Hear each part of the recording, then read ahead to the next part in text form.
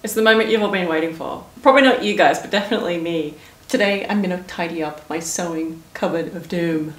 Ever since I tidied up my wardrobe, I've been thinking about tidying up my sewing cupboard, which is behind this door, and it's kind of scary. I'm gonna show you in a second, but I'm feeling very inspired lately to organize my stuff. Yeah, there's just a lot in there. Half of it is the water heater, so this side is actually like not too bad, but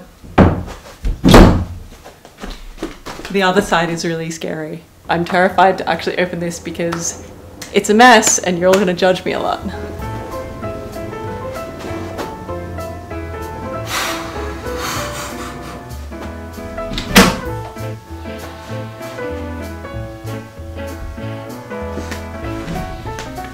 Okay, let's tidy this shit up. So this is the situation we're starting with. Since we moved in in July last year, I've been accumulating more and more stuff and going for the tried and true shove and pray method. In this cupboard is a mix of sewing gear, architecture stuff, and other random stuff that needs a home. And of course, an organisation video is not complete without some activewear. So ta-da, let's get cracking. Sewing machine. These need dry cleaning. A flute.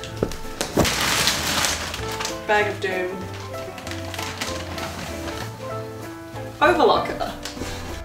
I'll save you from me commentating literally every single item I'm taking out, but you get the picture that there's a lot of stuff in here and it desperately needs organising.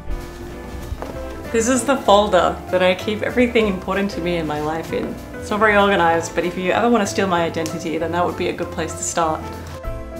Probably the only reason I actually enjoy tidying anything up is mostly for the little hidden treasures that I find along the way, and this cupboard is absolutely no exception.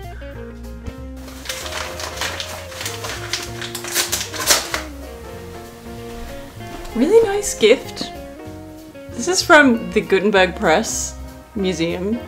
It's like printing ink. It's really nice. It's from my in-laws. I don't know when I'm gonna use it though. This is a pattern I printed months ago for a jacket that I'm gonna make ASAP because I wanted to quilt a jacket and use one moment please.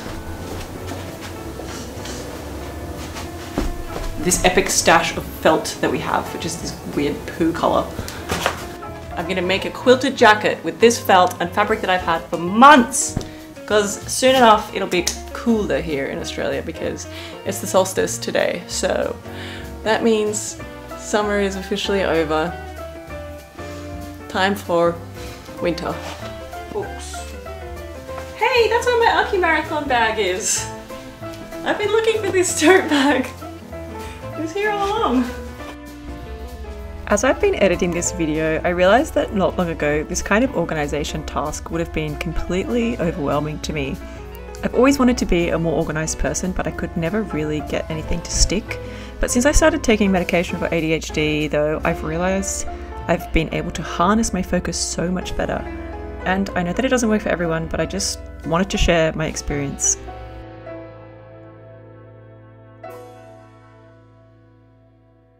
This is what we have to work with here. That's the cupboard over there. So I've got, on this side is kind of like sewing and sewing projects, including stuff I used to store stuff in, random bits of stuff, my patterns, a bag of doom, and then this pile here is stuff that I need to like fix. That's my like everyday box that I keep stuff in for when I'm doing projects. My sewing machine is in the middle of that, and then my overlocker is under there. This pile here is fabric that either is in good condition or is like a whole piece. And then in the red tubs is like remnants from other projects plus stuff that I'm keeping for another project that I want to make, which is a doona cover and pillowcases. But I haven't actually got around to it. And I think the issue is that I don't actually get to see my fabric. So I'm going to reorganize all of my fabric. Then I have boxes of stuff empty boxes and things because I like to hoard those things. Toolbox, things that need to go in the jigsaw drawer and games drawer, which is in another part of the house. Some stuff that I need to take to the dry cleaner, cutting mats, and of course my pride and joy, my CDs. Okay, so now that everything is out of the cupboard, what I'm gonna do is sort out the things that aren't going back in there and I'm gonna find them new homes around the house.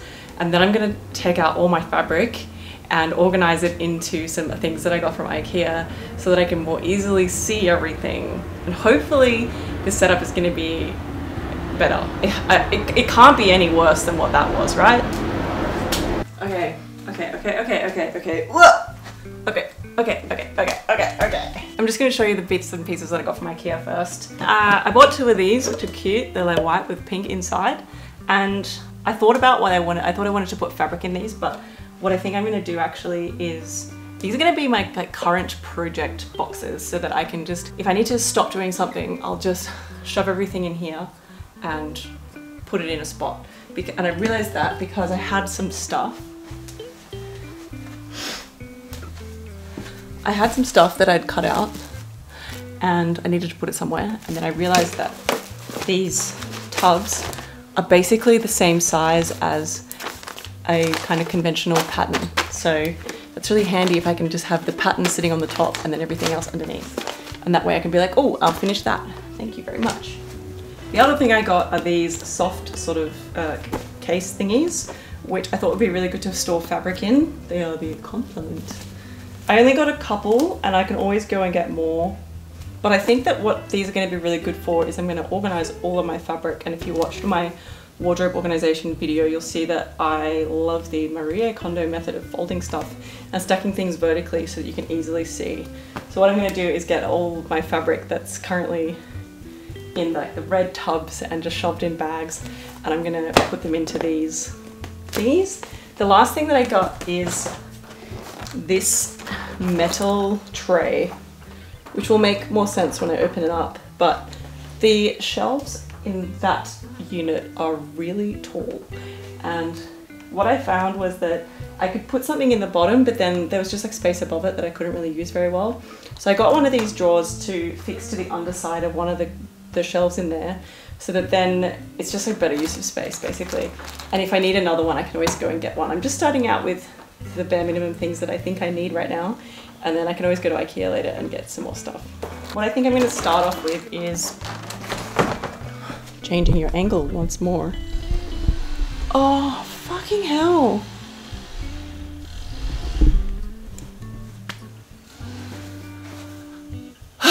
of course they start using power tools just as I'm ready to Okay, I'm gonna put this on a time lapse and you guys can just kind of watch me go and I'm to narrate over the top because yeah, there's not going to be any chance for me to talk with the noise that's about to happen outside with the gardeners and stuff. I decided just to start putting some things in that I knew didn't need any further organising, like these boxes and my sewing machines. Okay, I made a start and I'm happy with where that's up to. Now it's time to organise all my fabric and put together some of these little boxes. So let's go over there. Oh, sorry, I didn't realize I wasn't recording. Whoa, I thought these were bigger.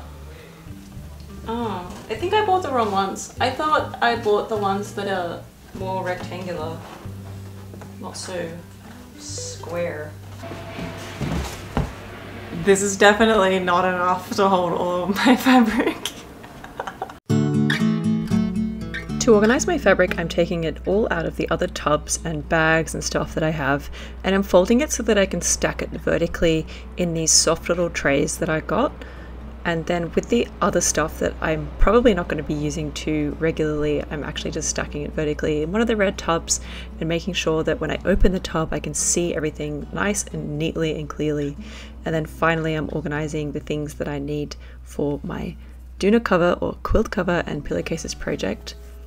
And then finally, I'm going through my pile of projects. These are things that I either want to take a pattern from, fix, or alter or flip in some sort of way.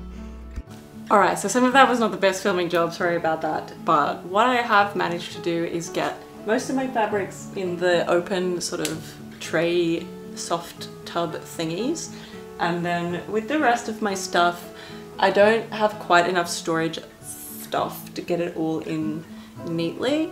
Uh, but I'm just gonna keep my like projects separate from my fabric that's like ready to go that doesn't that's not necessarily a remnant separate from my remnant fabrics and the things that I want to flip I need to get the rest of the stuff in the cupboard. The cupboard is already getting a little bit full, so I need to make my little box thingy that can hang from the shelf.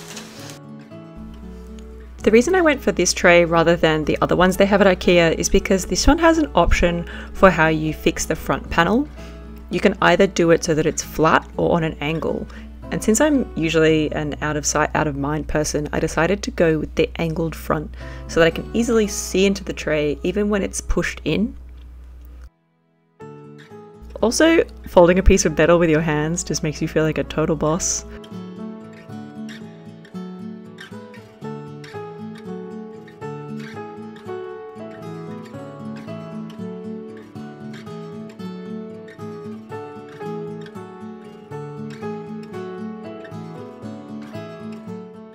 When it was time to attach it to the shelf, I used some tape to hold the frame in place because I couldn't take the shelf out since it's fixed into the joinery. And then I used the drill to make some pilot holes because screwing through laminate is pretty impossible.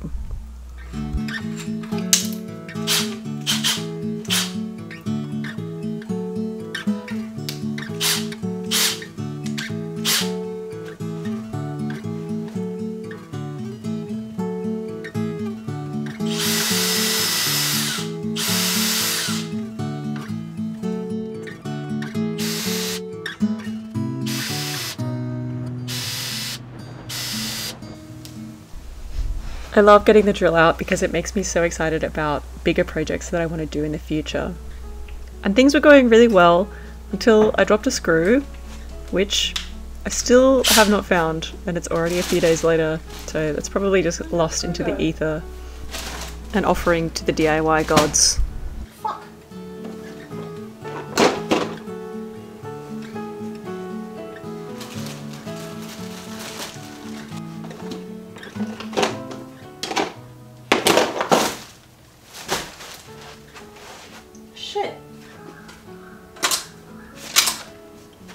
I lost a screw. Damn it.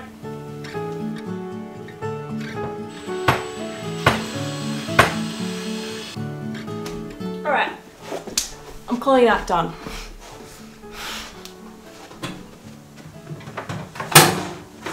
Yes, baby! That's so good, oh my god. One thing I need to check though is does this fit under it? Oh, So I love this thing. This thing I got from my, my mother-in-law. It used to be hers. I love it, but the annoying thing is it's got, it's got this giant handle at the top that you can't fold down or move. So then whenever you have anything, you can't put anything on top of it. So now I can just slide it in there. And that's how it's gonna be. Yes, I'm so happy. I still have so much stuff to fit inside here though. Don't judge me because the way I'm putting everything in here still looks pretty disorganized, but it makes so much more sense to me. I do love a bit of Tetris, and what you can't quite see in the shot is that I'm sorting and gathering all the mess that needs to go in the bin.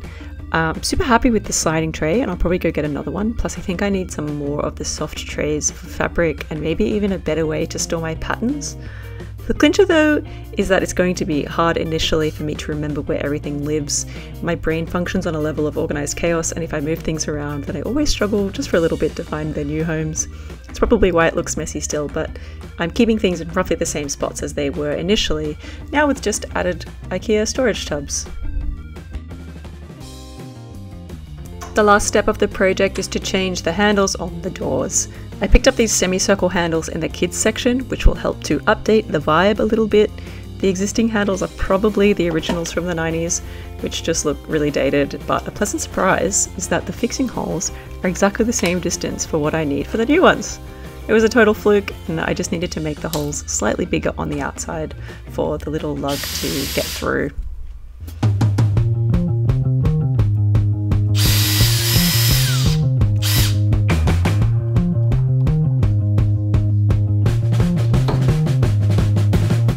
And here's the updated situation. My machines are on the bottom along with my patterns. Then my fabrics and current projects are on the next shelf up because that's where I look most often when I open up the cupboard.